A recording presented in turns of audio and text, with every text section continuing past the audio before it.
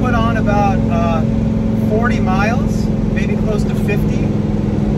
Uh, first drive with the Veleno, and I am just ecstatic.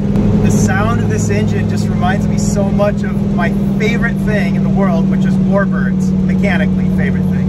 I love old warbirds, and this thing sounds just like one of those old fighter planes. When it flies over,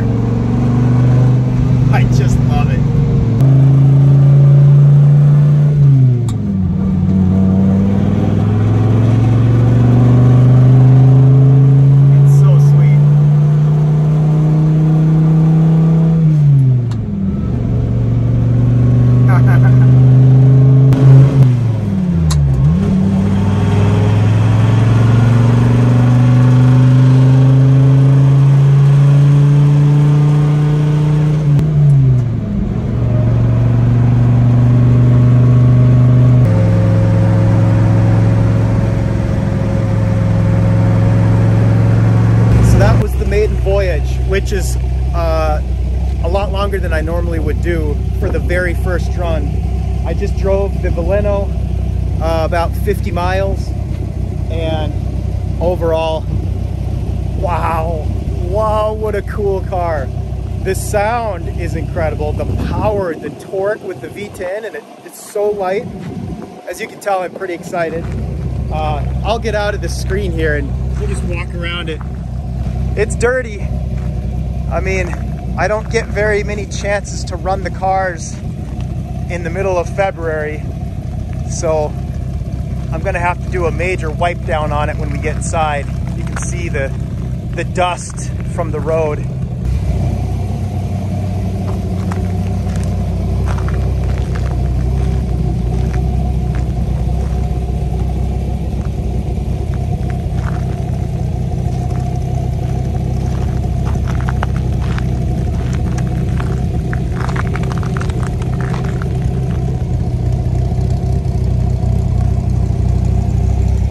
Got the car back in the shop, and while I was driving, I noticed a few things. A couple of the gauges weren't quite functioning. They'd move a little bit, but not quite right. And we have modified these original gauges extensively.